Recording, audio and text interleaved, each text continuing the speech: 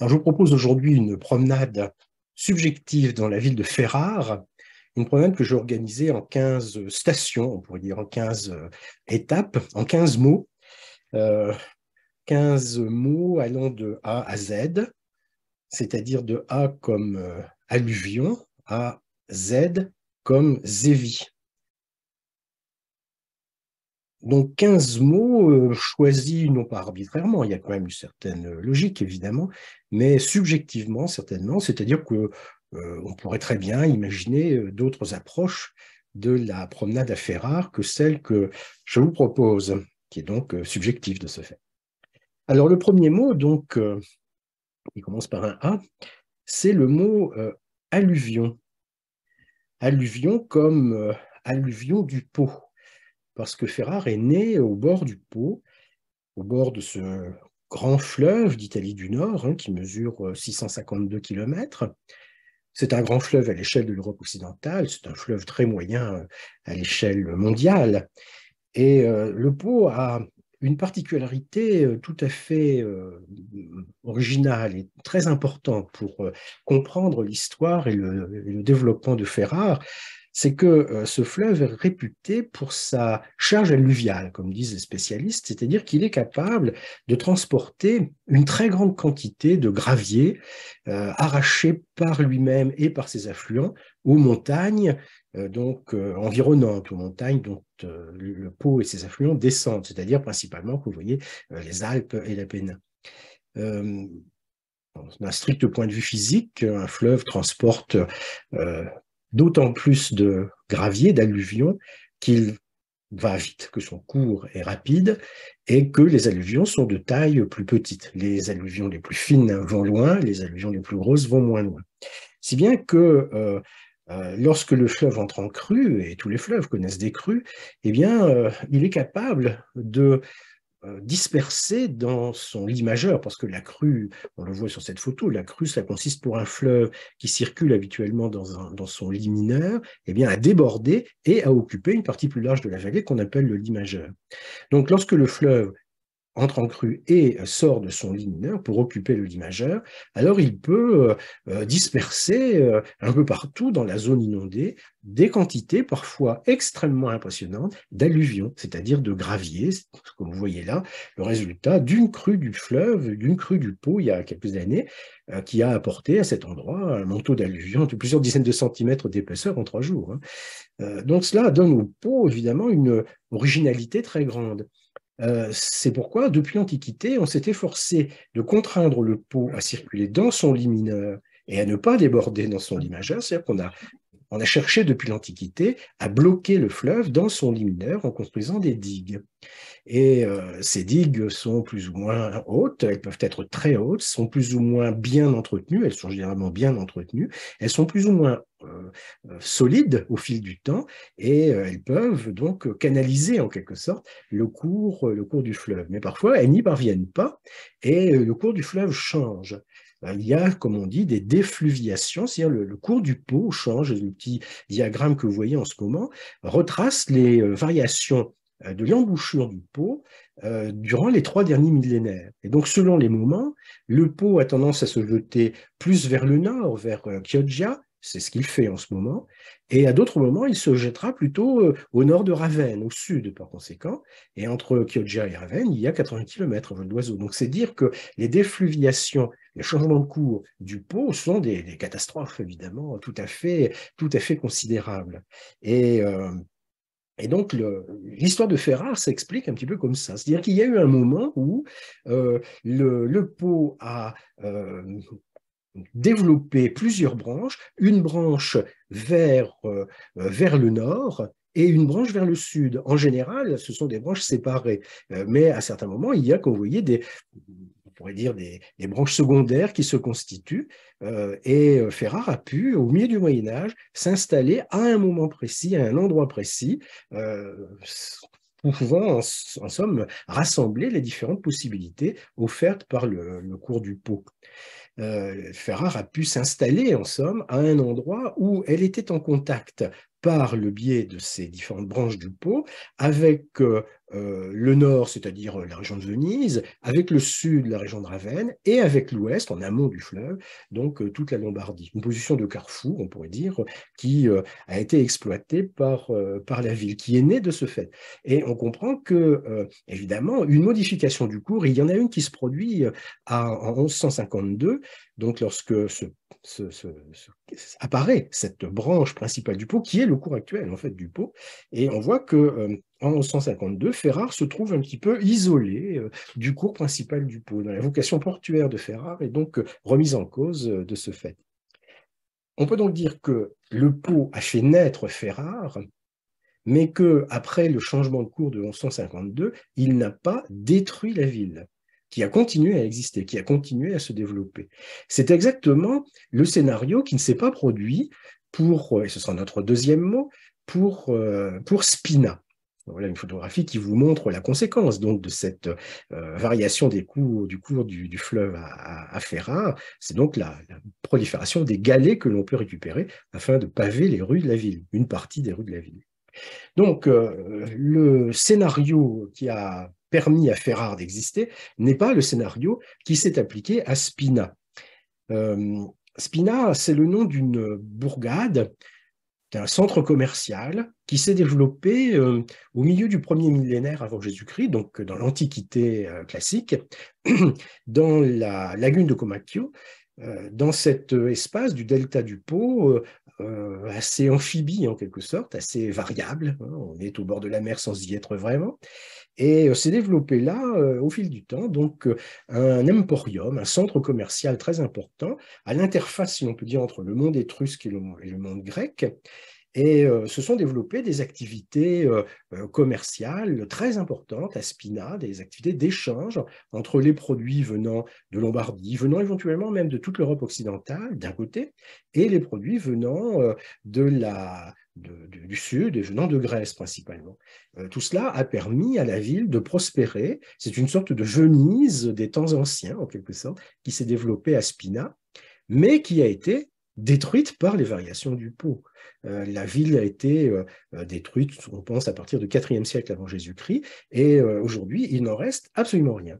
Il n'en reste rien parce que les alluvions du pot ont complètement recouvert la ville, ont complètement recouvert les nécropoles de la ville, qui a donc euh, sombré dans l'oubli dès l'Antiquité. Et ce n'est qu'au début du XXe siècle que, euh, du fait des travaux de bonification de la vallée, euh, la basse vallée du Pô, travaux de bonification qui commencent à l'époque de la dynastie des ducs d'Est à Ferrare, hein, donc au XVe siècle, et qui se développent surtout à partir du XIXe et au XXe siècle, ces travaux de bonification qui consistent à drainer en fait les zones marécageuses, eh bien que l'on ait pu faire apparaître les vestiges des nécropoles de Spina, ce qui a permis de constituer un musée. Euh, le musée, les fouilles de Spina sont présentées au public dans le qui se trouve à Ferrare et dont on va parler, le Palazzo Costabili, le musée archéologique national de Spina, qui montre euh, les objets donc découverts à Spina depuis 1922, c'est-à-dire euh, des quantités extraordinaires de vases, de vases grecs, de vases fabriqués à Athènes, euh, essentiellement au 5e siècle avant Jésus-Christ.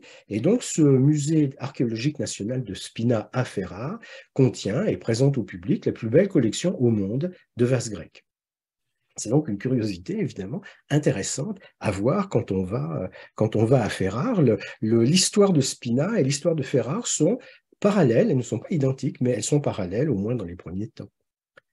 Notre troisième mot sera le mot commune. Euh, on a compris que Ferrare est une ville qui n'a pas toujours existé, et c'est l'une des villes de l'Italie du Nord qui n'a pas son origine dans l'Antiquité. C'est la, la moins ancienne des grandes villes de l'Italie du Nord, en fait. Euh, l'archéologie peut permettre de constater qu'il y a une présence humaine dans ce qui sera fait rare à la fin de l'Antiquité, mais rien de véritablement important, rien de véritablement concret n'existe avant l'époque de l'exarcat de Ravenne, donc au 7e siècle euh, après Jésus-Christ. Ferrare a, si on veut, une racine byzantine, Et c'est donc les variations du cours du pot qui, à un moment donné, au milieu du Moyen Âge, permettent d'exploiter cette position extraordinaire de carrefour entre l'ouest, le nord-est, le, nord, le, sud, le sud-est, et qui donne à Ferrare au XIe et au XIIe siècle, au XIe au XIIe siècle, oui c'est ça, qui donne donc à Ferrare une, position intéressante et un développement intéressant. Tout se concentre au centre de la ville euh, donc euh, médiévale. Euh, ici, on a une carte du XVIIIe siècle qui nous montre ce que c'est que le centre de la ville médiévale. C'est la, la, place des herbes, comme on dit au Moyen Âge, la place qu'on appelle aujourd'hui à, Ferrare la place de Trente et de Trieste. Et donc, c'est là que s'établissent les bâtiments principaux qui incarne en somme la ville, la commune de Ferrare, c'est-à-dire le palais municipal qu'on voit là, euh, le palais du tribunal, euh, la cathédrale, et puis par la suite le château euh, des Est qui est construit ultérieurement. Donc, le centre de la ville de Ferrare, le centre médiéval, c'est cette place de Trente et Trieste, c'est-à-dire la place des herbes d'autrefois. c'est là que se concentre l'activité économique au milieu du Moyen Âge. C'est-à-dire que les, euh, tous ceux qui ont quelque chose à vendre ou à acheter, eh bien, peuvent trouver affaire à cet endroit.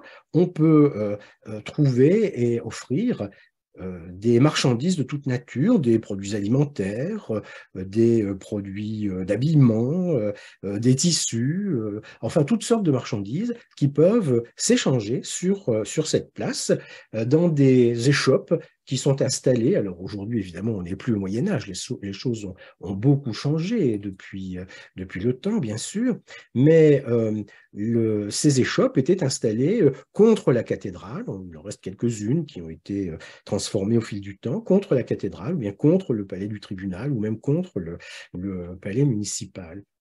Euh, ce sont ces trois bâtiments qui incarnent en somme la, commune de Ferrare. Alors qu'est-ce que c'est qu'une commune euh, au Moyen Âge? Bien, c'est une sorte de, on pourrait dire de, situation, de, de, contrat que les habitants concluent de fait entre eux. Euh, ils ont conquis le droit, en quelque sorte, de se jurer fidélité commune.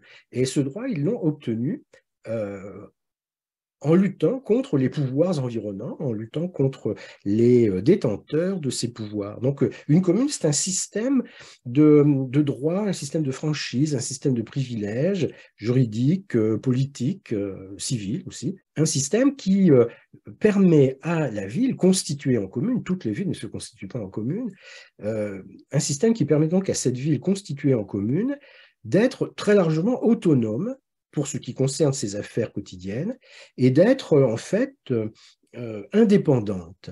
Euh, L'Italie du Nord fait en théorie partie du Saint-Empire romain germanique, mais les communes en Italie du Nord, et Ferrare en particulier, sont de fait indépendantes au XIIe siècle, au XIIIe siècle. Alors évidemment, dans cette commune, dans cette ville, euh, fonctionne une vie politique. Il y a euh, des relations qui sont parfois tendues entre les différentes composantes de la, société, et on peut distinguer cinq groupes en général dans les communes du nord de, l'Italie et à Ferrare en, particulier. Il y a un groupe de personnes qu'on pourrait qualifier de, nobles. Euh, des petits seigneurs qui se sont installés en ville et qui entendent bien exercer une influence prépondérante sur le gouvernement de la commune. Et puis, il y a également euh, le clergé. Le clergé qui constitue une population importante autour de l'évêque, parce que Ferrare, c'est un, un, siège épiscopal depuis le, depuis le 9e siècle. Euh, il y a également une catégorie de marchands importants, euh, d'artisans importants, presque d'industriels, ce que l'on appelle au Moyen Âge popolo grasso, dans les villes d'Italie du Nord.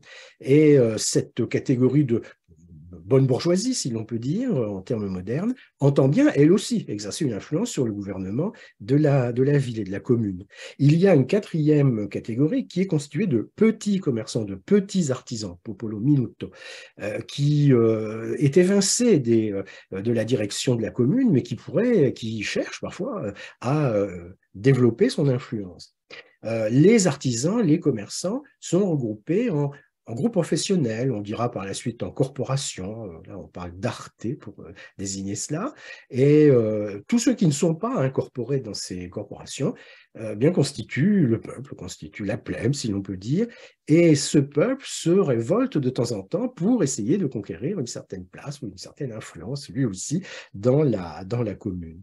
Donc l'équilibre qui est atteint au XIe, XIIe siècle, lorsque se constitue le mouvement communal en Italie du Nord, et qui fait donc des communes des entités autonomes et indépendantes, euh, cet équilibre euh, est fragile. Et il se euh, déstabilise à partir du milieu du XIIIe siècle lorsque l'on voit des tensions éclater entre les différents groupes, donc de guerre civile, si l'on peut dire, à l'intérieur de la, ville. Lorsque l'on voit se développer aussi euh, une concurrence entre les villes voisines, il y a des compétitions commerciales ou territoriales entre les villes voisines, le tout étant euh, euh, à comprendre dans le cadre géopolitique de l'époque, c'est-à-dire la querelle des investitures, comme on dit, ou la querelle du sacerdoce et de l'Empire, c'est-à-dire en fait l'affrontement, et parfois armé, entre l'empereur du Saint-Empire romain germanique et le pape. Donc les communes italiennes sont euh, parfois broyées dans ces, euh, différents affrontements.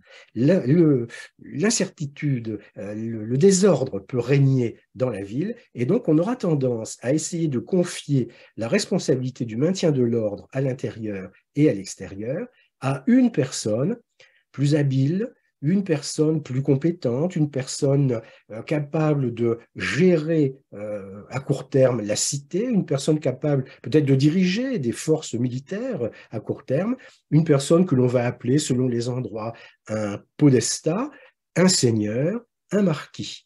À Ferrare, ce sera plutôt seigneur et marquis. Podestat, c'est plutôt à Florence. Et, euh, donc, cette fonction-là, c'est une fonction rendue nécessaire par la situation. Cette fonction, eh bien, est en principe une fonction dont la, la, durée de vie est très limitée dans le temps, une année au maximum, mais les circonstances font que les choses parfois peuvent, euh, peuvent durer. Et donc, euh, lorsque l'on examine les monuments euh, qui se situent euh, au centre de la ville de Ferrare, eh bien, on voit jouer ces, différents, ces différents affrontements. Voilà une photographie de la, de la cathédrale Saint-Georges, et puis voilà une photographie du palais, du palais municipal. Ce palais municipal, siège du pouvoir politique, eh bien, il abrite aussi, à partir du XIIIe siècle, le seigneur ou marquis de Ferrare, et des, des statues de ces, de ces potentats ont été installées, parce que voilà, ce sont des des monuments médiévaux. Les originaux ont été mis en lieu sûr, à l'abri de la pollution. Et donc, euh, ces, euh, ces statues sont ceux de ces, euh, de ces seigneurs, de ces marquis de Ferrare, comme par exemple Nicolas d'Este, donc dans la première moitié du XVe siècle, ou alors le fameux Borso d'Este, dont on va parler en détail, qui est au pouvoir à Florence entre 1450 et 1471.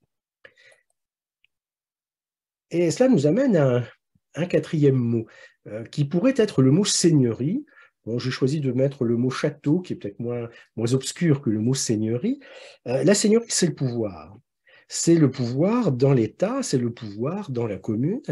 Et comme je viens de l'expliquer, ce pouvoir a tendance à être capté par euh, des personnes, par des personnes ayant une importance, à qui on reconnaît une importance, des personnes qui sont plus euh, peut-être plus riches que les autres, qui sont peut-être plus forts que les autres, qui sont peut-être plus habiles que les autres, qui réussissent à euh, se faire admettre en tant que détenteurs d'une influence, en tant que détenteurs donc d'un pouvoir, d'une seigneurie. Et la seigneurie euh, est d'abord un état de fait, comme je l'ai expliqué, elle devient petit à petit une situation de droit lorsque les seigneurs ou les marquis réussissent à se faire admettre en tant que tels par euh, non seulement la commune, mais aussi par l'empereur du Saint-Empire romain germanique, ou bien par le pape. On voit par exemple au milieu du, XVe siècle, euh, le seigneur de Ferrare, le marquis de Ferrare, obtenir de la part de l'empereur du Saint-Empire le euh, titre de duc, duc pour une, zone annexe, le duc de, le duc de Modène en fait, et en 1471 obtenir du pape le titre de duc pour, pour Ferrare. Donc le, seigneur devient duc de Ferrare. Et ce faisant, euh, eh il va s'efforcer de rester en place, non pas une année, mais de nombreuses années, et il va s'efforcer aussi de faire reconnaître de, se faire reconnaître le droit de choisir son successeur, le droit d'établir en somme une, une dynastie. Et euh, évidemment, un pouvoir personnel, par conséquent, émerge dans les communes en général et dans la commune de Ferrare en particulier. Cela ne va pas sans difficulté, ça ne va pas sans heurts, sans révolte, il y a des guerres civiles, je l'ai dit tout à l'heure, et à Ferrare notamment, il y en a une en 1385 qui euh, met en cause le seigneur de Ferrare de l'époque, Nicolas II d'Est, qui comprend que euh, résider comme il le fait jusque-là dans le palais municipal, ce n'est pas une situation favorable, ce n'est pas une situation sûre.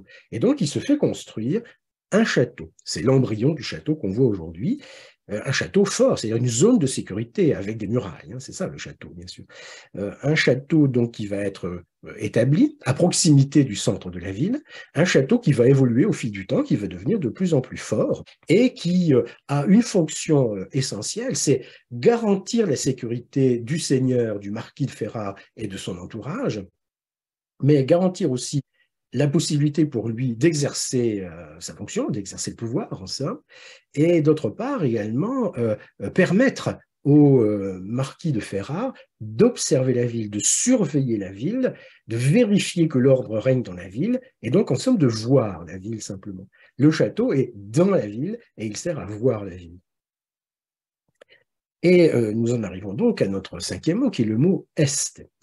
Est, c'est le nom de la famille qui a été capable de capter la seigneurie dans la commune de Ferrare, de capter le pouvoir dans, la, commune de Ferrare. Euh, en ce sens, les Est euh, ressemblent à d'autres grandes familles dans les, communes de l'Italie du Nord. On a par exemple les Bentivoglio à Bologne, on a les Gonzague à Mantoue, on a les, les Montefeltre à Urbino, les, Visconti et les Sforza à Milan, et bien entendu les Médicis à Florence. Il n'y a guère qu'à Venise que le podesta, que le comte d'Autière, que celui qui n'est pas le seigneur, le mot n'est pas employé à Venise, il n'y a guère qu'à Venise que l'homme fort ne réussit pas à s'imposer aux institutions de la ville. Mais Venise est un cas particulier par rapport aux autres villes d'Italie du Nord. Alors ces Est, c'est donc une famille qui euh, capte le pouvoir à Ferrare et qui va exercer le pouvoir pendant euh, des décennies, pendant des siècles même, à Ferrare. voilà donc l'un de ces potentats statufiés sur la façade du palais municipal. Ici, il s'agit de Nicolas III. tout à l'heure, je parlais de Nicolas II. Nicolas II, c'est le, constructeur du château, le premier élément du château. Nicolas III, c'est le, début de la dynastie des, ducs de Ferrare, donc au milieu du XVe siècle.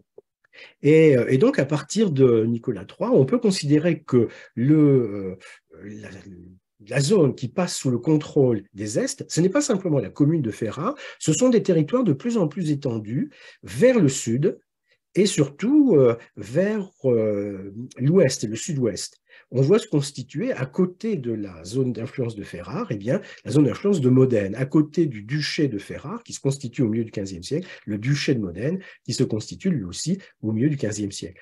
Euh, en termes simplifiés, on peut dire que euh, le seigneur de Ferrare est en même temps seigneur de Modène, il euh, fusionne tout cela en constituant une sorte d'État territorial sur lequel il va régner donc au fil du temps. Alors les Est constituent euh, une dynastie euh, proliférante au fil du temps. Euh, on peut distinguer plusieurs branches dans cette famille. Il y a une première branche donc au XIIe siècle qui commence à établir la, richesse et la puissance de la famille, mais dans les guerres civiles qui ont lieu, eh bien, les Est sont chassés de Ferrare une première fois en 1309. Ils y reviennent quelques années plus tard, et donc une deuxième période s'ouvre pour la, la famille d'Est et à Ferrare, c'est la, l'apogée de la famille. Évoqué tout à l'heure Nicolas III, celui qui est statufié sur la façade de, du palais municipal. On va beaucoup parler de Borso et d'Hercule Ier, hein, qui sont les deux grands princes de la fin du XVe siècle, qui ont euh, rayonné sur Ferrare, mais sur une partie importante de l'Italie du Nord. Et euh, finalement, le, duché de Ferrare euh, disparaît en 1598 lorsque les, euh, les, aspects géopolitiques doivent être pris en compte aussi lorsque euh, le pape, à la fin du, XVIe siècle, chasse les Est de Ferrare. Euh, les, les Est perdent de Ferrare, mais ils peuvent se replier sur Modène, où ils continuent à régner. donc, leur présence à Modène existe depuis longtemps, mais elle est confirmée en 1628. une nouvelle branche de la famille donc, se développe et, règne à Modène pendant, pendant environ 150 ans, au XVIIe ou XVIIIe XVIIIe siècle. Et puis, euh, en 1771, cette branche des Est de Modène euh, s'éteint, la succession euh, de père en fils hein, n'est plus possible, le dernier duc de Modène n'a que des filles comme, comme enfants, et donc sa fille aînée, Marie-Béatrice, va prolonger, va perpétuer la maison en, en se mariant, et en se mariant avec un prince de la famille de Habsbourg. Les Habsbourg dominent l'Europe depuis euh, le XIIe siècle et ils vont rester en place jusqu'au début du XXe siècle, comme vous le savez. Et donc, les, les Est et les Habsbourg euh, s'associent à partir de 1771. Il y aura donc une branche de, de des, euh, on pourrait dire Habsbourg-Est, si on veut. On appelle en fait branche d'Autriche-Est. Et parmi cette branche d'Autriche-Est, il y a le fameux François Ferdinand, celui qui est assassiné à Sarajevo en 1914, hein, donc qui est un descendant de la famille des Est, descendant très lointain, mais descendant quand même. Il y a encore une, un certain nombre de rejetons de cette dynastie des Est, et le beau-frère de l'actuel roi des Belges en est euh, le chef. Hein, c'est le chef de la famille d'Autriche-Est en ce moment. Alors, quelques-uns de ces princes donc euh, méritent intérêt, et ce sont ceux qui règnent entre, disons, 1450 et 1550. Il y en a quatre. On peut euh, les, énumérer si l'on veut. Il y a donc Borso, tout d'abord, Borso d'Est, que l'on voit là, qui règne euh, entre 1450 et 1471. C'est le premier à disposer du titre de duc de Ferrare. Les prédécesseurs sont marquis de Ferrare. Et Borso d'Est est l'un des, euh, des, grands, souverains de la principauté, euh, donc au milieu du XVe siècle. Euh, nous verrons qu'il a contribué à, à, embellir la ville, notamment en faisant décorer le palais Schifanoia. J'ai choisi une fresque du palais Schifanoia pour, comme page d'entrée, si on peut dire, pour cette conférence. son successeur et son demi-frère, Hercule Ier, alors Hercule Ier règne sur Ferrare euh, entre 1471 et 1505. Euh, c'est Hercule Ier qui organise l'extension de la ville de Ferrare, ce qu'on appelle l'addition herculéenne, euh, qui est évidemment une des grandes pages de l'histoire de Ferrare à la Renaissance. C'est donc ce personnage qui préside à tout cela. lui succède son fils Alphonse Ier. Alphonse Ier a c'est le continuateur de ses prédécesseurs, mais euh, disons que l'une des particularités d'Alphonse Ier, c'est son, mariage, son deuxième mariage avec euh, Lucrèce Borgia, la fille du pape Alexandre VI, tout un, tout un programme. Et, euh, et le quatrième prince à mentionner, c'est donc Hercule II, le fils d'Alphonse Ier, Hercule II qui est non pas l'auteur d'un grand projet d'urbanisme à Ferrare, c'est Hercule Ier qui l'a fait, mais euh, Hercule II va appliquer les mêmes conceptions à Modène. Il y a un projet d'urbanisme à Modène aussi qui est d'une moins grande ampleur qu'à Ferrare, mais enfin qui est euh, notable. Et c'est donc ce, personnage qui préside à ces, euh, initiatives en matière d'urbanisme à Modène. Donc les quatre principaux princes d'Est qui règnent sur Ferrare entre 1450 et, et 1550 environ. Alors, il y a des princes, mais il y a aussi des princesses. Et euh, c'est intéressant peut-être de mentionner quelques-unes de ces duchesses ou de ces princesses d'Est. Euh, on pourrait par exemple évoquer euh, les filles d'Hercule Ier, euh, que l'on voit représenté ici sur euh, le plafond du Palazzo Costabili. Le, Palazzo Costabili, c'est le musée archéologique national de Ferrare qui euh, présente les fouilles, le matériel des fouilles de Spina. Et donc, dans la salle principale, le salon du trésor, il y a une fresque peinte sur le plafond qui nous montre notamment donc Isabelle et Béatrice d'Est, qui sont les deux filles d'Hercule Ier. Et la personnalité la plus intéressante, c'est Isabelle qui est là, elle devient donc, elle est fille du duc de Ferrare, elle devient duchesse de Mantoue par son mariage, et euh, elle exerce à la fin du XVe siècle et au début du, XVIe siècle euh, une influence tout à fait euh, considérable. C'est une, une, référence en matière de protection des artistes, c'est une référence en matière de, de, de commandes passées à des artistes, c'est une référence en matière de, de voyage pour euh, diffuser l'influence de Ferrare, et c'est une référence aussi en matière de, lettres. C'est une épistolière. On a conservé d'elle 40 000 lettres euh, qui ont été adressées à quantité de correspondants, bien sûr. Et donc, euh, Isabelle d'Est, c'est un personnage intéressant dont on pourrait parler longuement. On pourrait parler longuement aussi de Lucrèce Borgia, donc l'épouse donc de Hercule Ier. Mais je vais plutôt parler de René. René, René de France, qui duchesse de Ferrare est l'épouse d'Hercule II. Donc elle euh, règne sur Ferrare au milieu du XVIe siècle. Alors, euh, René de France, c'est un personnage intéressant. Euh, c'est la fille cadette du roi de France Louis XII et d'Anne de Bretagne c'est la sœur, donc, euh, elle est fille cadette, elle a une sœur aînée par conséquent, c'est la sœur de Claude, Claude de France, qui euh, épouse le roi, enfin celui qui deviendra le roi François Ier. Et euh, Claude de France, reine de France par conséquent, eh bien, règne au moment où l'on introduit en, France une variété nouvelle de prunes, hein, la reine Claude, donc qui a maintenu en quelque sorte le nom de cette princesse. Là, je parle de la sœur cadette, c'est René, René de France, qui naît en 1510. Et pour comprendre le sort de René, il faut euh, revenir sur les conditions de la succession de Bretagne. C'est assez compliqué, mais euh, disons que les choses commencent à... enfin, les choses... Euh, sont intéressantes à suivre à partir de 1488. En 1488, le duc de Bretagne, François II, personnalité indépendante, hein, souverain indépendant du duché de Bretagne. François II meurt en 1488 et il laisse pour euh, euh, successeur et héritière une fille, une fille unique qui est Anne. Anne, donc héritière de Bretagne, duchesse de Bretagne, euh, qu'il faut marier à quelqu'un et à qui, évidemment. Donc, il y a toute une, toute une série de projets matrimoniaux qui sont élaborés autour de 1490. Et finalement, Anne de Bretagne, Anne, duchesse de Bretagne, épouse le roi de France. Le roi de France qui est Charles VIII. Elle l'épouse en 1491, l'idée étant que les enfants à naître, en fonction de leur euh, sexe, pourront euh, succéder à la couronne de France si ce sont des garçons, ou euh, au duché de Bretagne si ce sont des garçons ou des filles. Et les règles successorales ne sont pas les mêmes dans le duché de Bretagne et le royaume de France.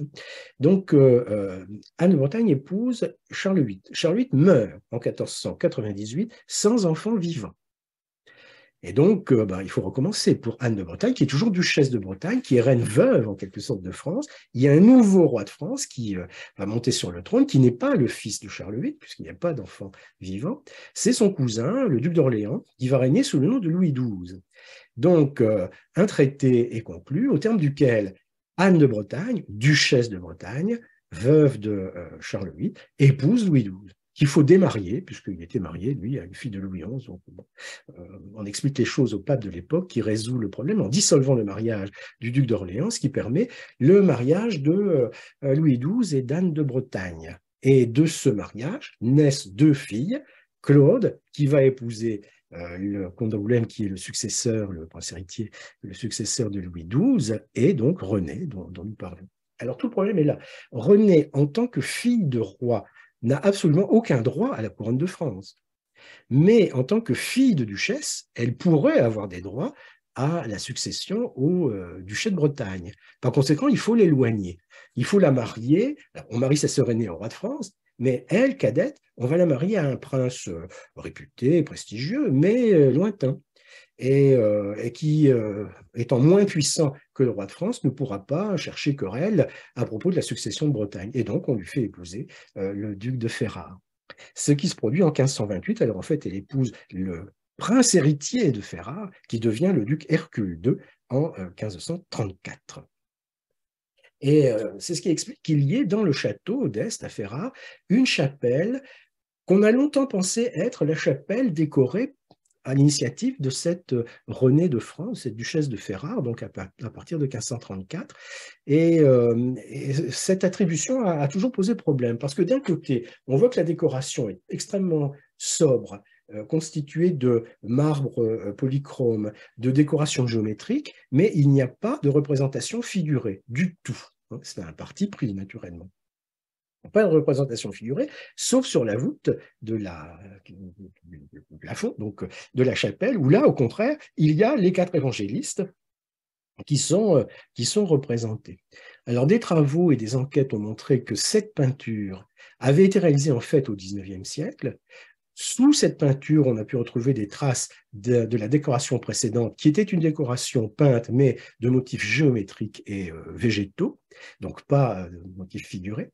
Et, euh, on a compris aussi que la, décoration de la chapelle avait été réalisée, ce que l'on voit là, donc, avait été réalisée à la fin du XVIe siècle, à l'époque du fils de René de France, qui est donc le, duc, le dernier duc de Ferrare, Alphonse II.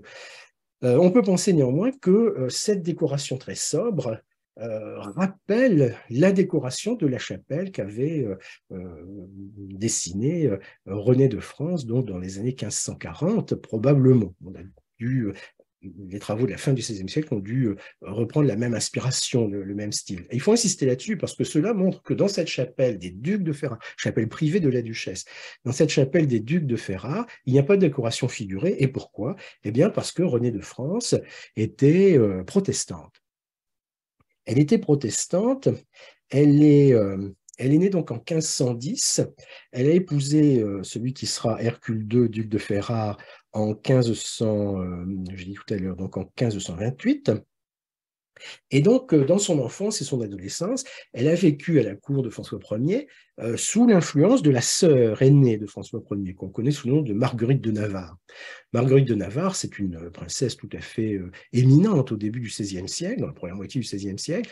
Elle protège les arts, elle protège les lettres, elle a protégé Rabelais, par exemple.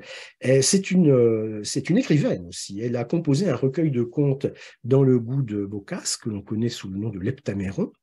Et, donc, c'est sous l'influence de cette personne qui est au fond sa belle-sœur, hein, la sœur de François Ier euh, et la belle-sœur de la sœur de Claude de France qui a épousé François Ier, euh, une, une, activité intellectuelle, par conséquent un rayonnement intellectuel. C'est de cela que bénéficie René. Elle bénéficie aussi de ses contacts avec des intellectuels de l'époque, comme par exemple Guillaume Budet. Guillaume Budet qu'elle rencontre à la fois en France et à Ferrare. Elle rencontre aussi à Ferrare le poète Clément Marot, qu'elle abrite. Euh, Clément Marot, qui est protestant, a dû fuir euh, la cour de François Ier après l'affaire des placards, et donc elle le recueille, si l'on peut dire, pendant quelque temps à, euh, à Ferrare. Et puis elle rencontre aussi Calvin. Calvin qu'elle embauche même comme secrétaire en 1536 pendant quelques mois. Calvin en est à l'époque où il a publié la première édition de l'Institution de la religion chrétienne, donc un des fleurons du protestantisme du XVIe siècle, évidemment, mais euh, Calvin n'a pas encore, ne s'est pas encore installé à Genève. Donc, euh, entre la publication de l'institution et son installation à Genève, il y a son séjour à Ferrare auprès de René euh, de, René de France. Donc, la cour de Ferrare, tout au moins dans l'entourage de la duchesse. C'est un lieu où les huguenots persécutés au milieu du XVIe siècle peuvent trouver refuge, comme par exemple euh, Clément Marot. C'est un lieu où la duchesse euh, est euh, horrifiée par la violence des temps dans lesquels elle vit. la lettre dont j'ai choisi un extrait est un petit peu postérieure à cette époque, mais elle dit bien quand même ce qu'est la, la, position de, René de France, de René de Ferrare, même comme on l'appelle à l'époque. Donc la date, c'est 1564. À cette époque-là, René est veuve, elle a quitté Ferrare, elle est rentrée en France, et elle écrit à Calvin, qu'elle connaît donc personnellement, pour lui dire ceci, je vais lire en français moderne, Monsieur Calvin, je suis mari que vous ne sachiez pas comment la moitié du monde se gouverne dans ce royaume et les adulations en vie qui y règnent, jusqu'à exhorter les simples femmelettes à dire que de leurs mains, elles voudraient tuer et étrangler. On est en plein dans les guerres de religion. Ce n'est point la règle que Jésus-Christ et ses apôtres nous ont baillé, et je le dis avec tout le grand respect de mon cœur, pour l'affection que je porte à la religion et à ceux qui en portent le nom. Ceux de la religion, c'est comme ça qu'on désigne les protestants au XVIe siècle. Donc, je ne parle pas de tout, mais d'une grande partie de ceux que je connais. Autrement dit, elle dénonce en somme la violence ambiante mais la violence de chaque côté, des catholiques et des protestants.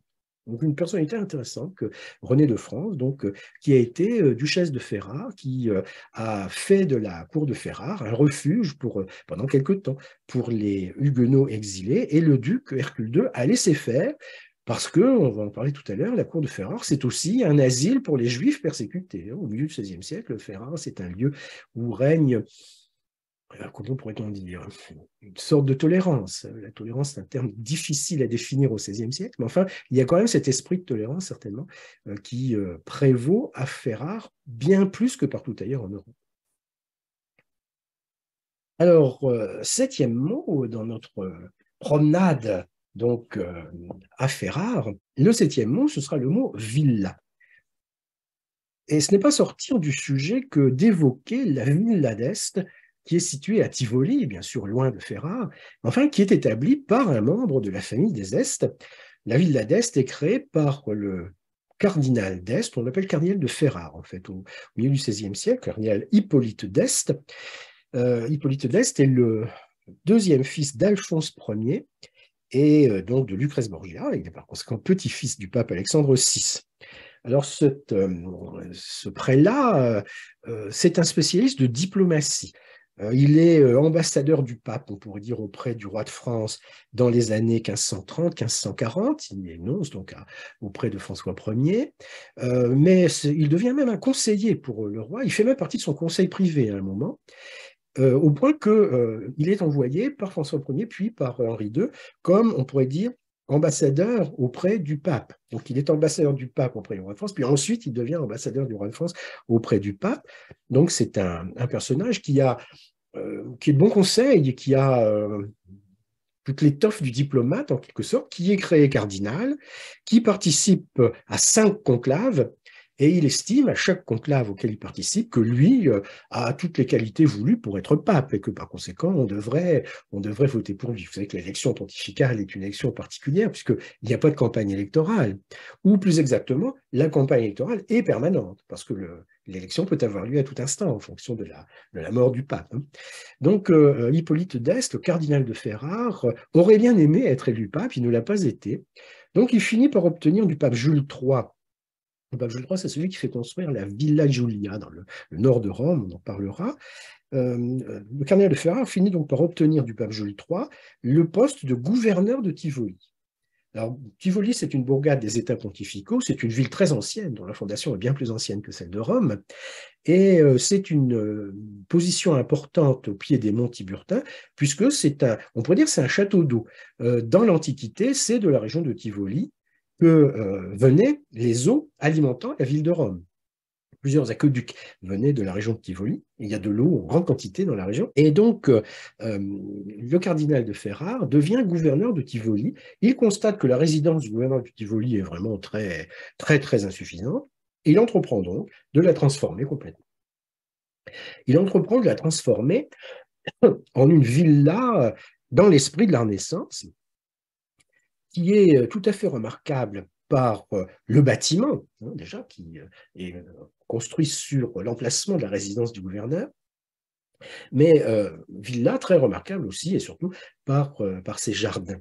L'époque est au retour à l'antique. On cherche à s'éloigner du passé récent, le Moyen Âge, on cherche à revenir à l'influence de l'Antiquité, mais que l'on va considérer comme ancienne, comme respectable, mais révolue.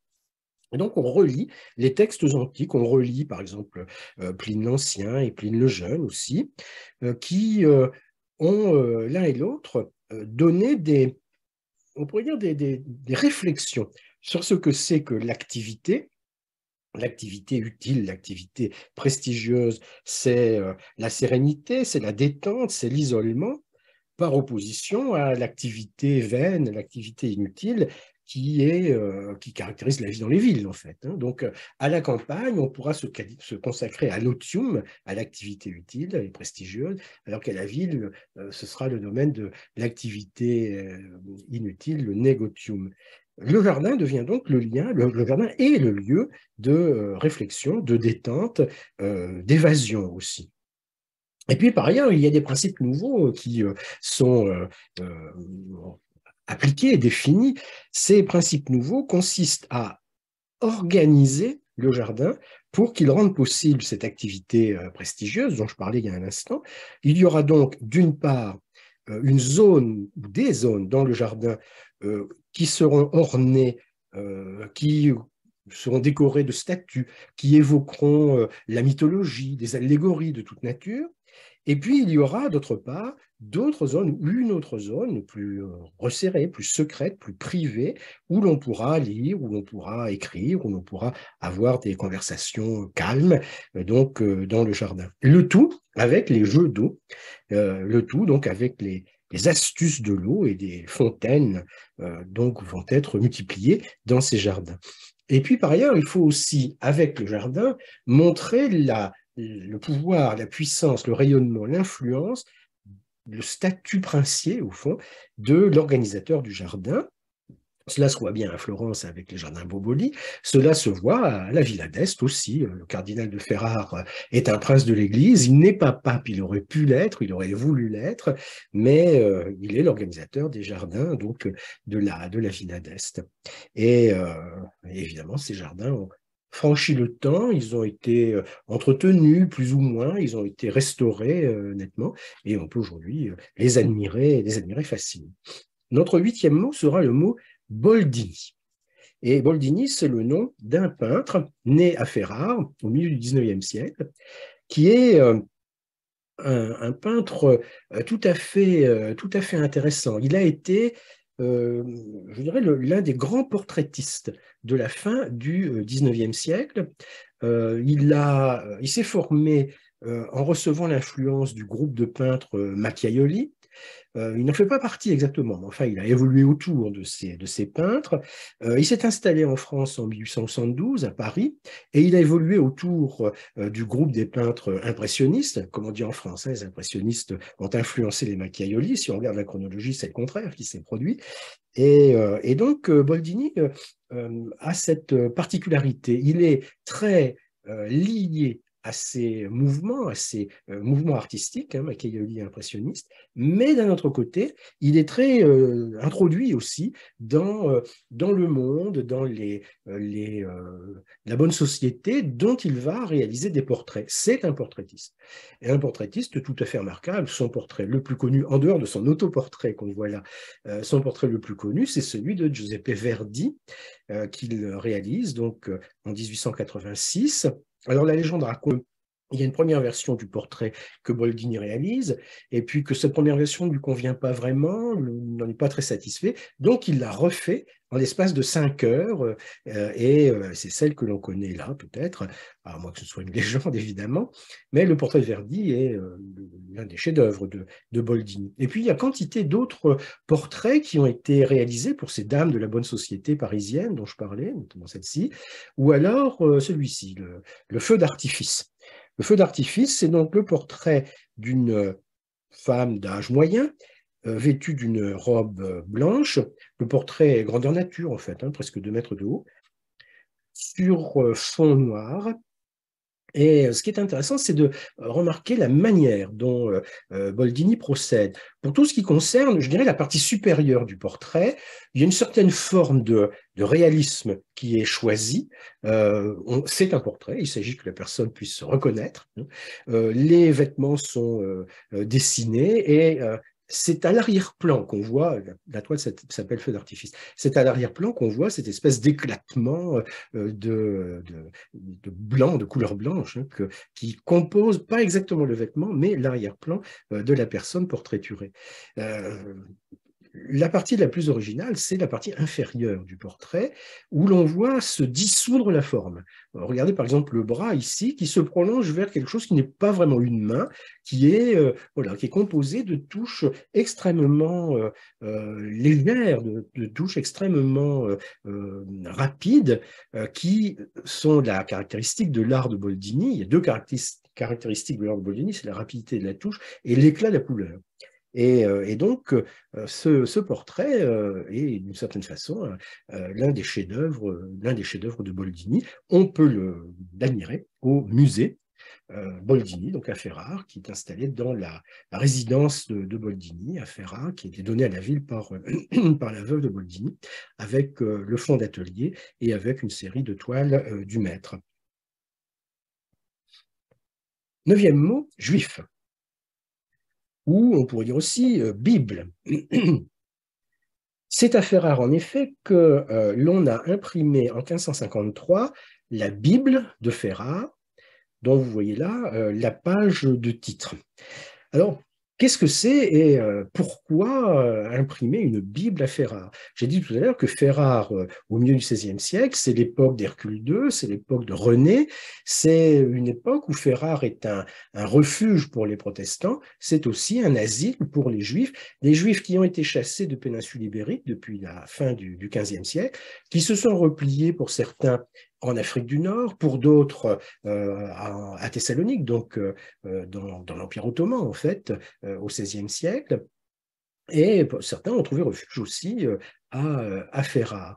Et cette ville de Ferrare a donc accueilli un nombre non négligeable de juifs venant de péninsule ibérique ou venant d'Europe centrale aussi, donc séfarades et ashkénazes, qui vivent à Ferrare, on pense qu'il y a, à l'époque d'Hercule II, euh, sur 30 euh, 000 habitants à Ferrare, au moins 2000 juifs.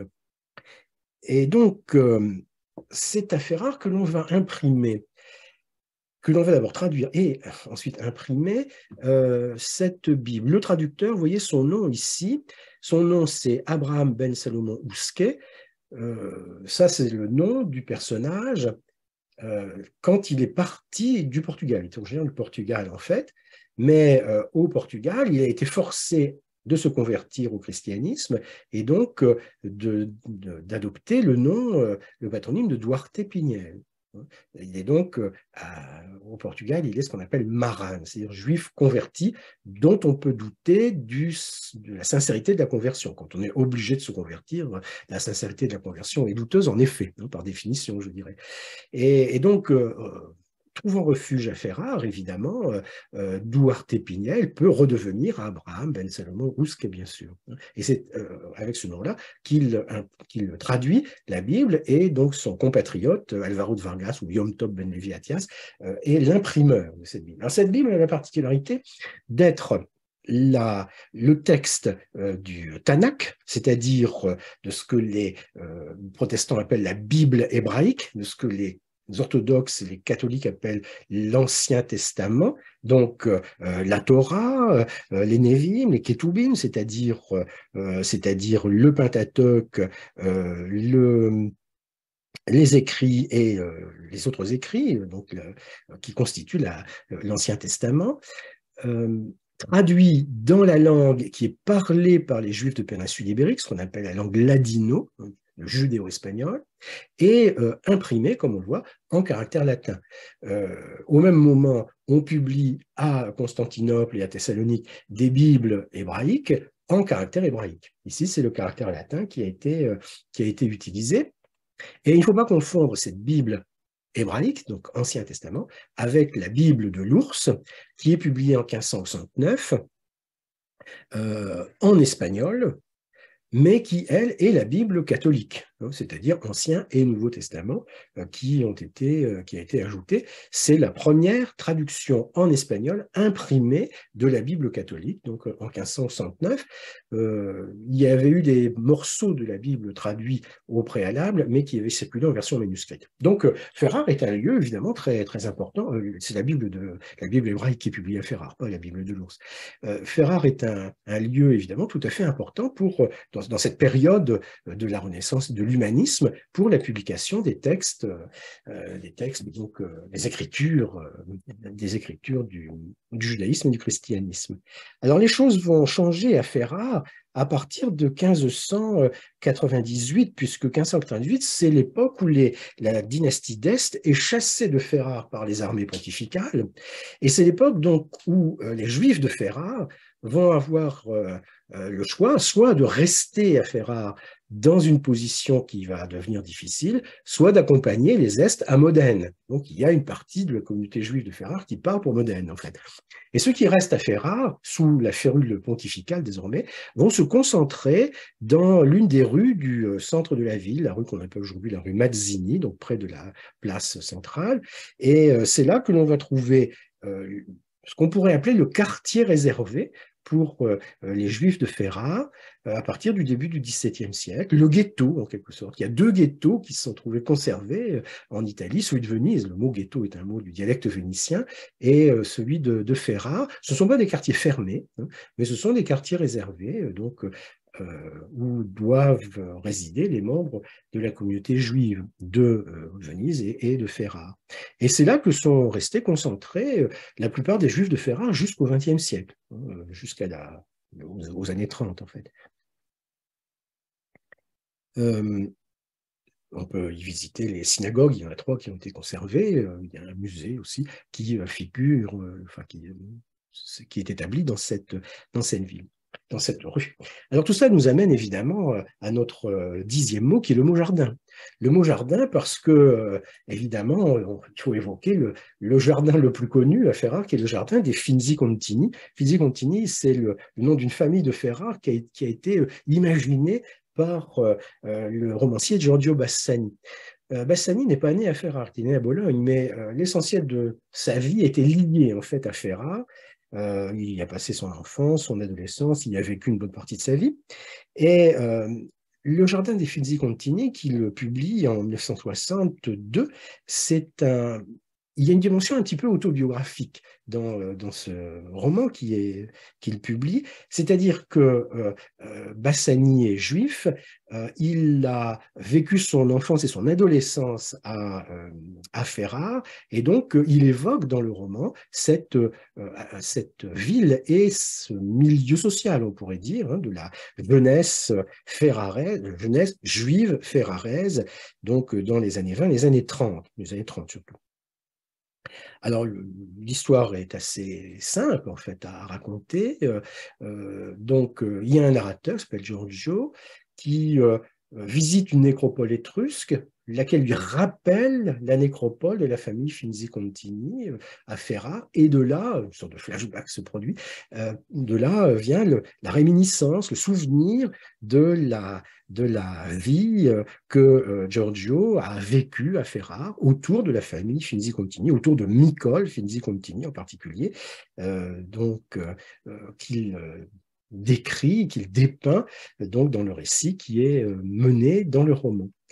Euh, c'est une sorte de façon de, d'évoquer, si on peut dire, de, suggérer plus exactement l'aveuglement des juifs italiens dans les années 20 et les années 30 face à l'évolution du régime fasciste de Mussolini. Le régime fasciste n'est pas euh, euh, explicitement antisémite dans les années 20, mais il le devient. Il y a beaucoup de juifs, à Ferrare en particulier, qui participent au régime dans les années 20 et qui sont petit à petit évincés lorsque le régime de Mussolini se, satellise, on pourrait dire, sur le régime nazi de, Hitler.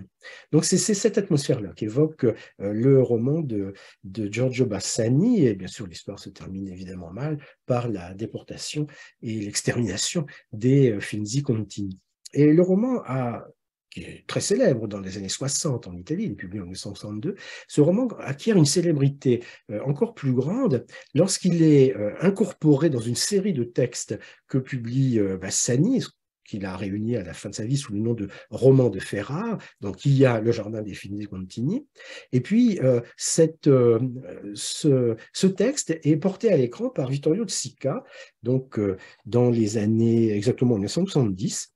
Un, un film qui obtient, comme vous voyez, des récompenses internationales importantes et qui est une adaptation euh, qui se veut fidèle du roman. D'ailleurs, Bassani a participé à l'élaboration du scénario, mais c'est un film. Et donc là où le roman peut suggérer quelque chose, ben, le film montre quelque chose. Et donc il montre les sentiments qu'il y a entre euh, Giorgio et Nicole, qui sont suggérés dans le livre et qui sont montrés dans le film.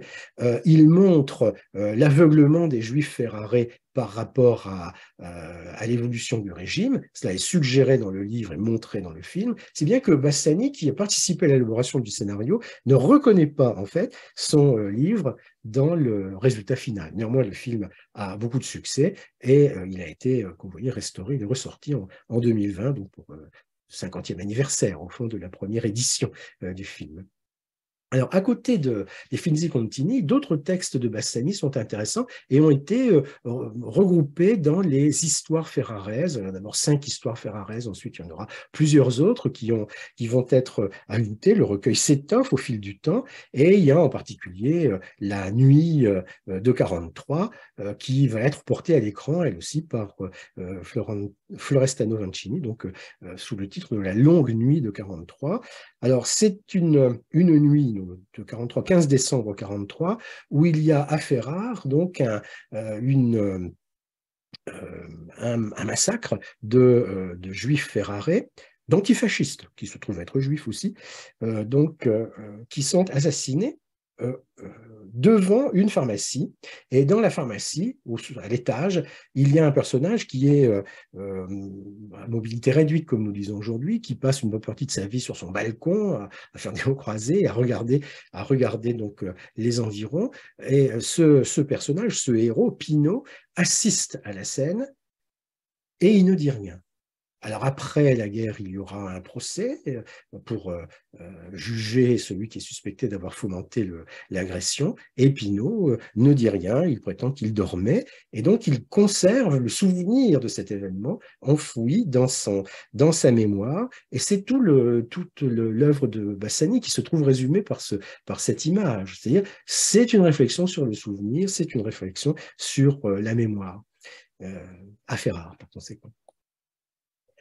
Onzième mot, diamant, diamanti. C'est euh, le nom du palais des diamants, Palazzo dei Diamanti, qui est l'un des bâtiments les plus, euh, les remarquables, les plus emblématiques de l'architecture européenne de la Renaissance et donc de l'architecture de, de Ferrare. Euh, le palais est construit à la fin du XVe siècle, à partir de 1492. C'est l'époque du duc Hercule Ier. C'est l'époque de l'extension euh, du tissu urbain de Ferrare. Et l'architecte se nomme, on va en reparler, Biagio Rossetti.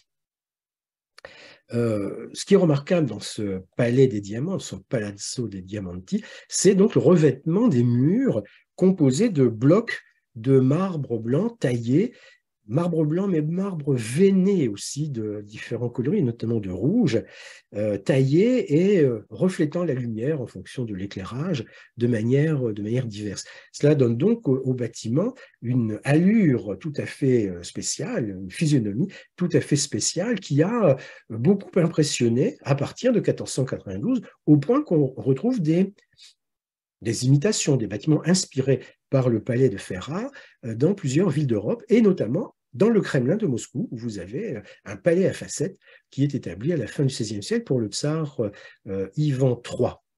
le palais de Ferrare date de la fin du XVe siècle, donc quelques décennies après, à Moscou. C'est l'occasion de mentionner la contribution importante des architectes italiens à, l'organisation des, belles villes russes que sont Moscou et Saint-Pétersbourg au XVIe, au XVIIe, au XVIIIe siècle. Plusieurs architectes italiens qui ont façonné ces villes.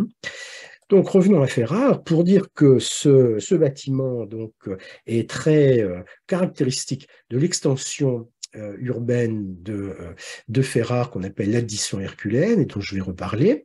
Et il est caractéristique aussi, ce bâtiment, parce qu'il est devenu, au XIXe siècle, le siège de la, de la collection ferraraise, la collection nationale à Ferrare, donc la Pinacothèque nationale, alors, bon, je vais vous montrer un tableau de cette pinacothèque nationale. Il y en a beaucoup qui mériteraient intérêt. J'en ai choisi un, un seul, pour nuancer un petit peu la présentation de Ferrare comme euh, asile pour les juifs persécutés et refuge pour les protestants persécutés. Oui, oui, sans doute. Mais enfin, euh, il y a aussi cette, cette toile de, du, Garofalo, donc, euh, qui date, vous voyez, 1523, et qui nous montre un triomphe de l'Église sur la synagogue. C'est une belle peinture, à la construction très simple. Il y a d'un côté, en position centrale, le Christ euh, en croix, Et puis, toute une série de symboles sont ajoutés à, à, cette croix qui vient euh, cette série de symboles vient opposer en fait deux figures. Une première figure, c'est celle de l'Église triomphante. Elle triomphe parce qu'elle a le globe de l'univers, le globe du pouvoir dans la main. L'Église triomphante qui est couronnée par la main qui sort de la croix. Et puis, euh, d'autre part, il y a euh, sur la partie droite de l'image, c'est-à-dire à la gauche du Christ, il y a donc la figure de la synagogue, aveugle et sourde, message de l'Évangile, qui ne veut pas voir, qui ne veut pas comprendre la bonne nouvelle euh, qu'apporte donc le, euh, le, Christ. Et donc cette synagogue est représentée, vous voyez, les yeux bandés, il y a une, lance qui vient lui percer euh, le cœur, et donc c'est rappeler la différence qu'il y a entre eux judaïsme et christianisme. Il y a une différence, bien sûr, entre les deux. Et la différence, c'est que ben, le christianisme euh, considère que le judaïsme est resté sourd à la bonne nouvelle. C'est la différence. Euh, le XVIe siècle, c'est une période où euh, tout se dit en termes religieux. C'est une période de confessionnalisation. Et le XVIe siècle, c'est une période d'éclatement confessionnel, c'est-à-dire il y a une séparation, il y a une division, il y a une opposition entre les différentes confessions le sexe est aussi une période de construction confessionnelle, c'est-à-dire qu'il faut indiquer ce que c'est que d'être catholique, ce que c'est que d'être protestant, ce que c'est que d'être euh, juif aussi. Et cette euh, toile du, Garofalo a cette signification. On la comprend dans le contexte de la, de la confessionnalisation au XVIe siècle. S'agit-il d'une toile antisémite? Je ne pense pas qu'on puisse aller jusque-là, mais enfin, c'est une toile qui rappelle la différence qu'il y a entre judaïsme et christianisme. Alors, douzième mot, euh, Schifanoia. Schifanoia, c'est le nom du palais Schifanoia, qui est donc, euh, donc, ce bâtiment qui est construit dans la partie euh, est de la ville, à l'époque évidemment des ducs d'Est. Hein, l'aigle blanc, c'est l'emblème des ducs d'Est. C'est un bâtiment qui est construit donc au XVe siècle en plusieurs étapes. il est construit tout d'abord à l'époque de Borso, il va être agrandi à l'époque d'Hercule Ier, et, euh, et donc, euh, Biagio Rossetti, le grand architecte dont on va parler, qui est l'architecte du Palais des Diamants, est l'architecte de l'extension finale du palais euh, Schifanoia, et ce n'est pas lui qui l'a conçu euh, au départ. Alors, ce, palais Schifanoia, c'est ce qu'on appelle dans l'Europe du 15e, du 16e siècle, un délice, les délices, c'est-à-dire une résidence plus simple que les résidences de prestige, une résidence où on pourra trouver euh, de, la, de tranquillité, de euh, l'apaisement, une résidence où l'on ne sera pas confronté aux difficultés de tous les jours, aux soucis de tous les jours. Euh, le palais Schifanoia, c'est d'ailleurs son, nom en fait en dialecte ferraré, c'est le palais sans soucis, en dehors des soucis, sans soucis. Et donc, dans ce palais, il y a une salle on est loin des euh, difficultés euh, de la vie de, duc de Ferrare, mais enfin, il y a quand même un certain nombre d'activités de, représentation. Dans ce palais, il y a donc une salle qui est le salon, le salon des mois. Le salon qui est décoré de fresques sur les quatre parois, des fresques qui euh, reprennent les douze mois de l'année. Il y a donc douze panneaux, quatre sur les longs côtés et trois sur les petits côtés ce qui fait 12 en tout. Hein. Et donc, euh, ces euh, fresques du palais Schifanoia sont extrêmement intéressantes. Elles datent de l'époque de Borso d'Est, donc euh, qui règne entre 1450 et 1471, elles datent des années 1460 en fait, et elles sont dues à plusieurs peintres, aucun n'a signé évidemment, plusieurs peintres qu'il a parfois été un petit peu difficile d'identifier. Disons qu'on peut penser que euh, les panneaux du côté est, l'un des deux petits côtés, le côté est qu'on voit là, ces panneaux sont dus à Francesco del Cossa, et euh, les panneaux du côté euh, nord, que l'on voit ici, sont dus à plusieurs autres artistes dont l'identité reste encore aujourd'hui un, petit peu, un petit peu difficile à établir avec précision. ce qu'il faut dire aussi, c'est que ces panneaux se sont mal conservés au fil du temps. Euh, pour la moitié d'entre eux, ils se sont purement et simplement pas conservés, quasiment pas conservés, comme vous voyez, parce que là, on a utilisé la technique de la peinture à sec, si l'on peut dire, hein, on a peint sur, euh, sur les murs sans grande précaution, la peinture ne s'est pas conservée. Sur les autres panneaux, on a peint à fresque, donc sur le ciment frais, la peinture s'est mieux conservée, notamment sur le côté euh, est, donc on va étudier en détail, mais un peu moins bien sur le côté nord, parce qu'au fil du temps, il y a eu des infiltrations d'eau qui ont fortement endommagé toute la partie inférieure du mur. C'est bien que toute cette partie inférieure est aujourd'hui difficilement lisible, difficilement interprétable. Et donc, pour toutes ces raisons, alors qu'il y a 12 mois dans l'année, moi, je ne parlerai que de trois de trois panneaux peints euh, sur les douze, sept seulement ayant euh, subsisté euh, au moins en partie jusqu'à nos jours. Alors on va commencer par la paroi du, du, petit côté est, donc, qui montre donc 12 mois. Ici c'est le mois de mars, le mois d'avril, le mois de mai. On va parler du mois de mars et du mois d'avril, parce que pour le mois de mai, comme vous voyez, les choses sont moins bien conservées. Et d'autre part, il faut préciser que la structure de chaque panneau est toujours la même sur les, les 12 mois. Vous avez en haut euh, une scène, disons, euh, mythologique. Vous avez en, position centrale une scène, disons, euh, astrologique. Et puis, dans la partie inférieure, vous avez une scène courtisane, une scène qui présente la vie à la cour de Borso, de Borso d'Est, duc de Ferrare. Donc, la partie principale, c'est la scène courtisane, mais euh, les autres parties sont non négligeables et ce sont celles qui se sont le mieux conservées sur l'ensemble des, des, parois. Alors, commençons par le mois de mars. commençons par le mois de mars parce que c'est le début traditionnel de l'année encore au XVIe siècle hein, pour, pour, un temps, et puis parce que de toute façon les mois de janvier et de février sont quasiment disparus. Alors, ce mois de mars présente donc une partie mythologique, une partie euh, euh, astrologique, on pourrait dire, et une partie euh, courtisane. les deux premières parties, mythologique et astrologique, nous donnent le, le message suivant.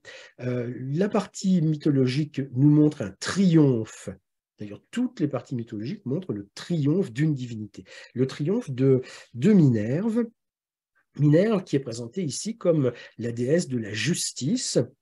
Euh, et euh, pour la définition du programme iconographique, les auteurs du XVe siècle se sont appuyés sur des textes, notamment les astronomiques de euh, Marcus Manilius, donc un, poète mineur du 1er siècle après Jésus-Christ, qui euh, euh, donne des, dirais-je, des, indications sur ce que peut être le cortège du Minerve, ce que peut être le cortège de, Mercure, etc.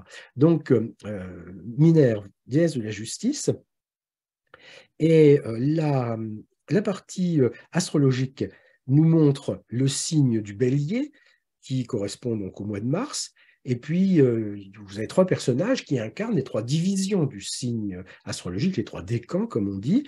Alors, ces trois décans, ce sont des, allégories, euh, des allégories morales, en somme, euh, qui évoquent aussi des constellations. Alors, on croit que ce personnage-là en se fondant sur le texte de Marcus Manilius, pourrait représenter la constellation de Persée. ici, au-dessus du bélier, le bélier, c'est le signe astrologique. Euh, la, personnalité représentée là pourrait être la constellation de Cassiopée, et ici, euh, nous avons un chasseur euh, qui pourrait être la constellation d'Orion. Donc, un programme mythologique, un programme astrologique, appuyé sur des textes anciens, textes latins pour la partie mythologique, textes arabes surtout pour la partie astrologique, et puis un programme courtisan nous montrant eh bien, des scènes de la vie à la cour de Borso d'Est, le duc est représenté alors on dit le duc, il est duc de Modène, il devient duc de Ferrare la dernière année de sa vie en 1471, là on est un petit peu avant, hein. euh, mais enfin c'est le duc, disons, il est représenté plusieurs fois, une première fois ici, une deuxième fois là et une troisième fois ici. Plusieurs fois pour euh, montrer différents aspects de la personnalité de, de euh, Borso. Évidemment, on va pas chercher une critique de Borso dans les fresques à sa gloire, bien sûr. Hein. On va faire l'éloge de Borso sous différentes formes. On va faire l'éloge surtout de sa bonne gouvernance. Borso est duc de Ferrare, il est euh, le seigneur de Ferrare, il est le marquis de Ferrare, et euh, il agit en tant que tel.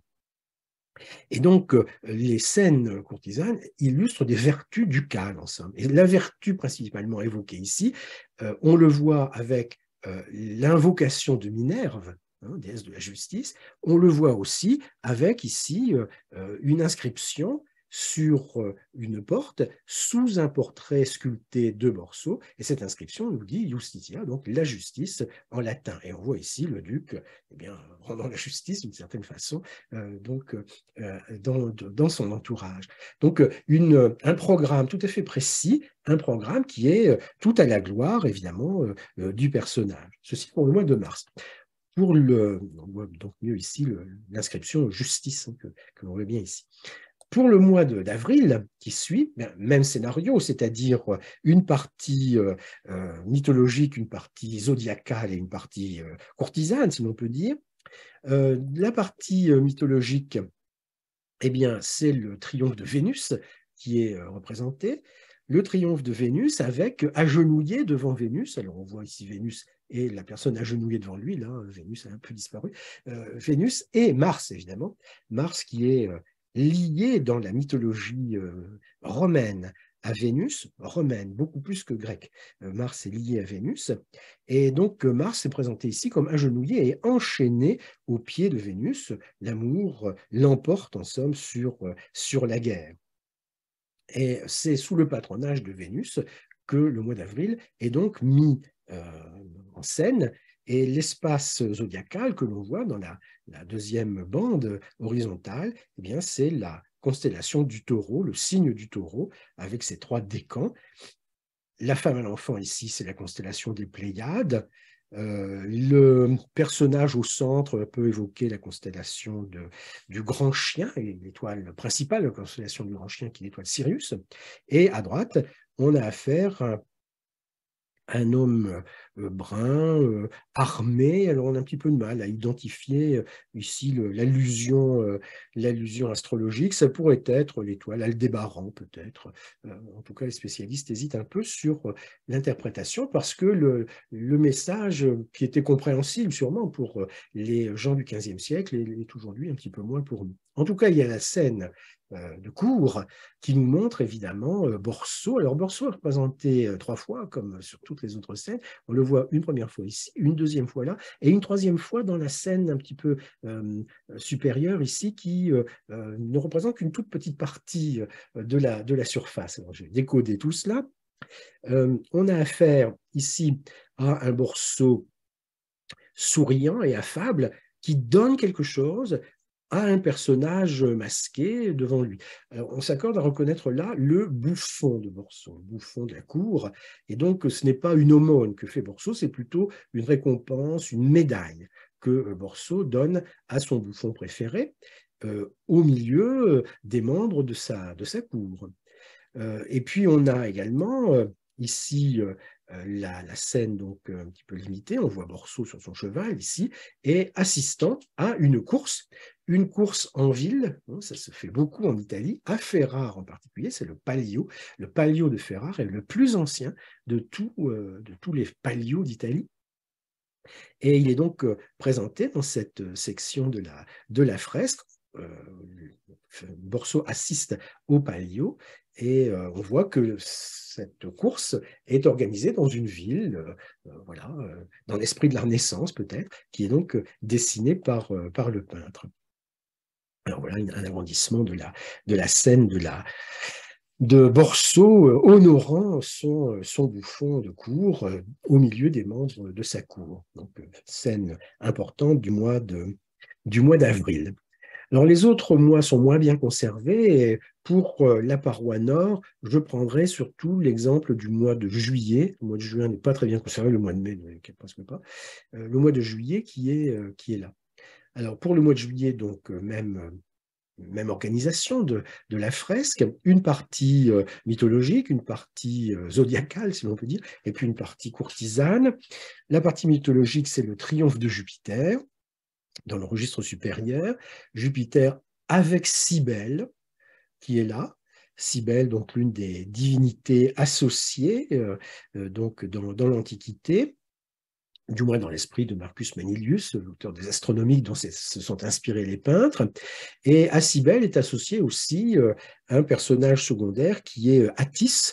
Alors on voit ici Attis euh, on voit peut-être pas très bien là, Attis euh, s'émasculant, euh, pris par l'enthousiasme pour Cybèle. C'est l'une des particularités de, cette religion orientale de, de Cybèle, qui est donc représentée sur cette scène. la partie zodiacale astrologique représente un personnage assis sur un arbre ici. donc, techniquement, c'est la constellation de l'hydre qui est représentée. Euh, vient ensuite ici euh, un personnage ainsi, assis sur euh, un lion, hein, constellation du lion. Et le troisième personnage, debout, c'est une figure que les érudits estiment être en relation avec la constellation de la Grande Ourse. pour, quelle raison?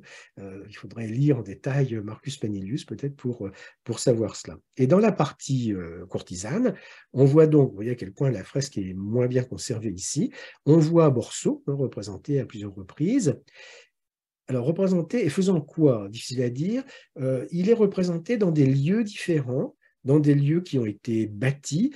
Peut-être s'agit-il de quelques-uns des lieux que Borso affectionnait à Ferrare, peut-être quelques-uns des bâtiments qui ont été construits euh, sous son règne, mais l'ensemble n'est pas vraiment euh, euh, identifiable. Enfin, on peut risquer des hypothèses, évidemment, mais il est difficile de reconnaître un bâtiment sur une fresque qui ne s'est pas bien conservé, surtout que le bâtiment lui-même a pu ne s'être pas conservé depuis le, XVe siècle. En tout cas, on a affaire avec ces fresques du salon des mois du palais Schifanoia, on a affaire à la plus grande surface peinte à la fresque dans l'esprit de la Renaissance qui se soit conservée. Il y en a euh, des dizaines de mètres carrés, je crois que c'est 350 mètres carrés, qui ont été euh, conservés donc, euh, depuis, le XVe siècle. Donc c'est l'un des fleurons, bien sûr, de la peinture de la Renaissance, l'un des fleurons de la, de la peinture de Ferrare, en tout cas. Éloge de Borso avec le palais Schifanoia, et c'est intéressant et important d'insister sur Borso parce qu'ensuite nous allons faire l'éloge d'Hercule Ier, donc euh, le successeur de Borso, Hercule Ier qui euh, est l'auteur de l'addition, c'est-à-dire de l'extension euh, du territoire, de l'extension de l'espace urbain de Ferrare. Et c'est ce par quoi nous allons terminer notre petite promenade dans Ferrare avec nos trois derniers mots. Euh, le premier de ces mots étant Rossetti. Rossetti, c'est le nom de, l'architecte. La suite de quoi nous parlerons de l'addition, qui est donc le nom du programme urbanistique. Alors, Biagio Rossetti, donc euh, l'architecte euh, d'Hercule Ier, c'est un architecte qui, depuis le XVe siècle, est assez connu. En fait, on ne connaît pas grand-chose sur euh, la vie et, l'œuvre de, de, Biagio Rossetti. On a quelques indications. Euh, euh, apparemment, c'était le fils d'un tailleur et on a quelques indications sur son parcours, sur sa formation, mais, mais pas, pas d'enseignement vraiment précis, vraiment détaillé sur ses conceptions théoriques, sur son approche de la réalité, de la ville et de, l'architecture. Et pourtant, euh, ce que l'on sait de lui, c'est qu'il a euh, contribué à la réalisation de très nombreux bâtiments à Ferrare, pas seulement à Ferrare, mais surtout à Ferrare, euh, de très nombreux bâtiments dont on voit là les noms, il y a 11 noms qui sont mentionnés sur ce petit, sur ce petit diagramme. Une autre manière de montrer l'importance des travaux de Rossetti, c'est qu'il est intervenu sur tous les bâtiments cerclés en rouge sur cette carte. Alors évidemment, on dira dans la partie qui a été ajoutée à Ferrare à l'époque d'Hercule Ier, l'addition bien sûr, mais aussi dans la partie plus ancienne de Ferrare. C'est une, euh, une action à l'échelle de l'ensemble de la ville que euh, Rossetti a probablement, euh, a probablement exercé. Alors tout le problème, évidemment, c'est de savoir qui est à l'œuvre, à qui il faut attribuer la, la responsabilité, la paternité de ce qui se fait à Ferrare à la fin du XVe et au début du XVIe siècle. Est-ce que c'est à Rossetti, on va parler de lui bien sûr, ou est-ce que c'est à Hercule Ier? Hercule Ier est donc le euh, duc de Ferrare euh, qui règne à la fin euh, du XVe siècle, c'est le demi-frère de Borso d'Est, et Hercule Ier, les spécialistes aujourd'hui ont tendance à réévaluer la contribution que le duc a apporté au programme d'urbanisme. C'est la thèse, en tout cas, d'un historien américain, vous voyez là, Thomas Thuory, qui explique que euh, Hercule d'Est est le véritable inventeur de la capitale du cas, de la capitale du duché de Ferrare, que euh, bien sûr l'architecte euh, est à l'œuvre, mais que sans le, donneur d'ordre, si l'on peut dire, euh, il n'y aurait pas eu de, réalisation. on a tendance aujourd'hui donc à insister, à souligner la responsabilité du prince par rapport à l'architecte, ce que l'on n'a pas toujours fait, comme on va le voir. Alors, les travaux donc commencent dans les années 1490. Il s'agit de euh, doubler, donc le, prince est l'architecte dont on va parler. Euh, il s'agit de, doubler, en somme, hein, si on considère la notion d'addition, doubler, même plus que doubler, la superficie de la ville.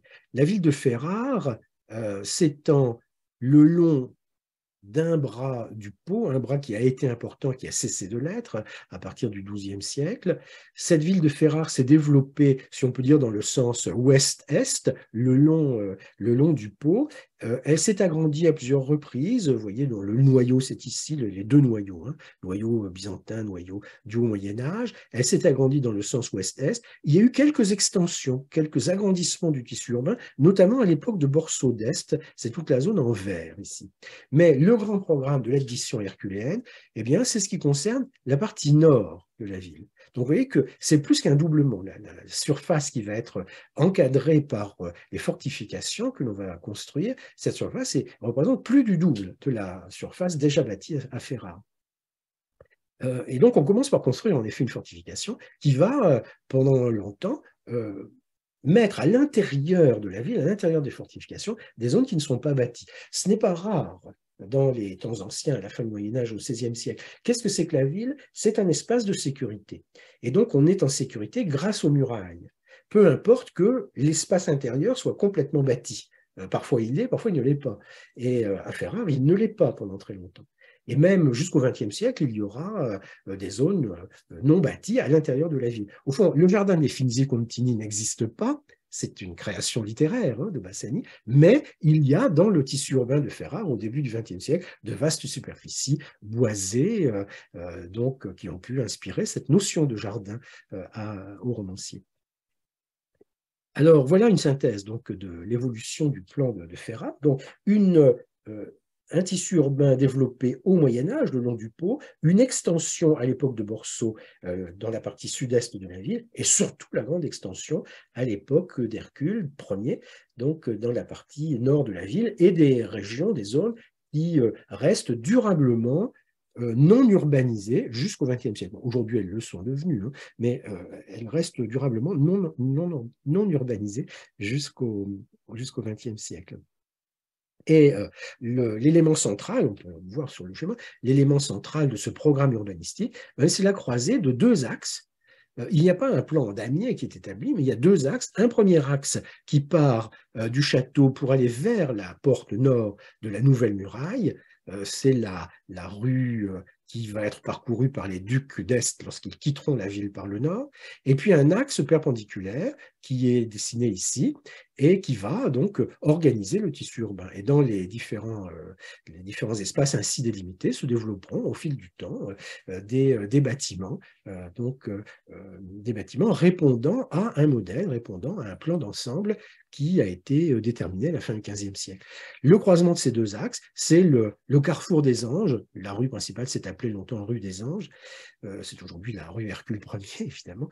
Et donc, ce carrefour des Anges, Quadrivio degli Angeli, eh bien, est euh, borné par quatre bâtiments, quatre bâtiments d'importance inégale, comme on voit, c'est tout à fait délibéré que l'importance soit inégale, quatre bâtiments dont l'un de ces bâtiments est le Palais des Diamants que l'on a vu, que l'on a vu tout à l'heure.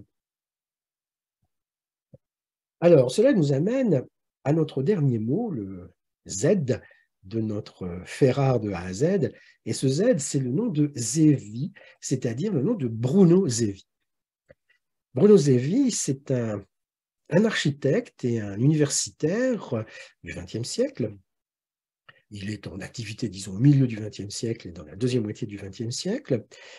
Euh, c'est un Ferrare euh, tout à fait, euh, tout à fait typique, si j'ose dire. C'est un juif Ferrare. Et c'est un personnage qui a du goût pour l'architecture, bien sûr, mais qui a aussi du goût pour, euh, je dirais, la pédagogie de l'architecture. Il va consacrer sa vie à faire comprendre euh, l'architecture à ses contemporains, à faire comprendre le travail des architectes, à faire comprendre ce que c'est que le travail des architectes à ses contemporains. C'est un personnage qui a, par exemple, euh, je ne dirais pas introduire, mais enfin expliquer aux Européens l'importance des travaux de l'architecte américain Frank Lloyd Wright, qui est considéré aujourd'hui comme le grand architecte du XXe siècle. Et donc, euh, euh, il y a cette, chez Bruno Zevi, il y a cette idée de, de donner à voir, d'aider à comprendre, d'apprendre à voir, en somme. Et apprendre à voir l'architecture, ce sera le nom d'un d'un ouvrage qu'il publie euh, en italien à la fin des années, dans, les années 50, et l'édition en français date de 1960, je crois, euh, ouvrage qui a formé des générations d'architectes euh, partout en Europe, apprendre à voir l'architecture. Qu'est-ce que c'est exactement qu'un bâtiment et comment se coordonne-t-il avec les autres? Eh bien, Bruno Zevi a écrit un autre ouvrage qu'il a donc appelé Apprendre à voir la ville, Apprendre à voir la ville, c'est un ouvrage qui est euh, euh, publié donc euh, dans les années 1970 et qui est le résultat de, des recherches que Zevi et ses équipes ont menées sur Ferrare. C'est-à-dire apprendre à voir la ville nous aide à comprendre ce que c'est que le tissu urbain de Ferrare et les conclusions qu'on peut en tirer quand on analyse le tissu urbain de Ferrare. Ce qui aboutit à la conclusion, c'est le sous-titre du livre, que Ferrare est la première ville moderne en Europe. Alors, le raisonnement est le suivant. Il y a à la Renaissance euh, au XVe, au XVIe siècle, il y a toute une réflexion sur l'architecture, clairement. Et on ne compte plus les projets de villes idéales, on ne compte plus les dessins, les plans, mais même parfois des réalisations de villes idéales. En Italie, il y en a quelques-uns, Pienza et d'autres. Hein. Euh, mais bien souvent, ces villes idéales eh bien, correspondent un petit peu à ces panneau euh, peint probablement par Francesco di Giorgio Martini, euh, la cité idéale, donc euh, celle-ci ou celle-là. Qu'est-ce que c'est qu'une cité idéale dans cette approche? C'est en fait une collection de bâtiments juxtaposés. Des bâtiments juxtaposés qui ont leur organisation, qui ont leur logique, qui ont leur structure et qui dialoguent peut-être avec les autres mais qui en fait n'entretiennent pas de lien organique avec les autres. Euh, c'est une collection de bâtiments isolés, je ne dirais pas dépareillés, ce serait euh, euh, déplaisant de dire cela, mais des bâtiments isolés qui n'ont guère de rapport les uns avec les autres. Et ce n'est pas cette cité idéale telle que le peintre la voit, euh, ce n'est pas en fait une ville. La meilleure preuve, c'est qu'il n'y a personne dans cette ville. Alors évidemment, dans la première version, il y avait bien quelques personnages, enfin quelques personnages tout petits qu'on voit à peine et qui visiblement ne, font pas vivre la ville. Donc, une ville conçue comme cela, eh bien, ce n'est pas Ferrare, nous explique Bruno Zevi, parce que euh, Biagio Rossetti avait des idées différentes.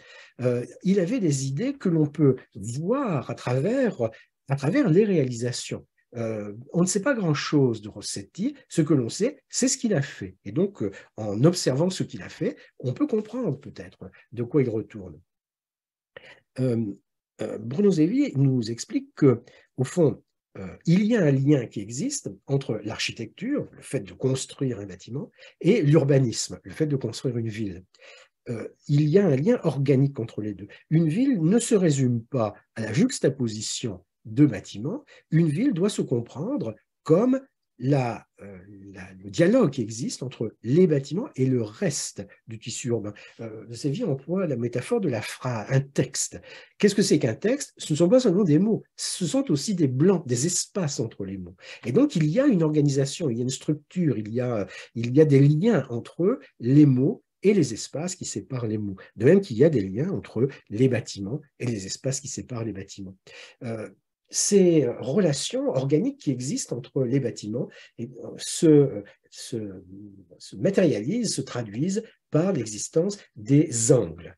Euh, dans l'esprit de Bruno Zevi, il y a chez Biagio Rossetti une poétique de l'angle, des angles qui sont euh, visibles un peu partout dans les euh, bâtiments construits à la fin du, 15e et au début du 16e siècle, des angles qui viennent marquer la relation organique qui existe entre tel bâtiment et le bâtiment voisin et les bâtiments voisins. Euh, dans le carrefour des Anges qu'on a vu tout à l'heure, il y a quatre palazzi qui ont été bâtis. Ce sont quatre palazzi différents, mais qui se connectent les uns aux autres par le biais des angles.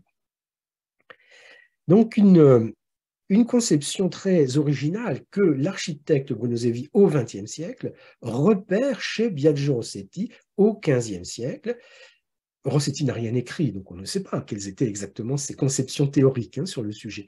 Mais euh, il n'a peut-être pas écrit, mais il a bâti.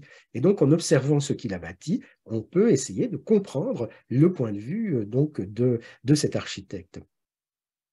Et euh, de ce fait, on peut dire que l'originalité du personnage dans l'esprit Brunosevi tient dans cette observation que Brunosevi fait et qu'on note sur la quatrième de couverture de son livre. Si Rossetti est non pas seulement un architecte, mais un urbaniste, le premier urbaniste moderne d'Europe, c'est aussi parce qu'il incarne une nouvelle figure professionnelle plus proche de celle de l'architecte contemporain, conditionnée par le teamwork, ce dont vouloir dire le travail en commun, j'imagine, travail d'équipe, que de celle de l'artiste traditionnel, prêt à renoncer à une vaste production pour dessiner et modeler tous les ornements de chacune de ses œuvres.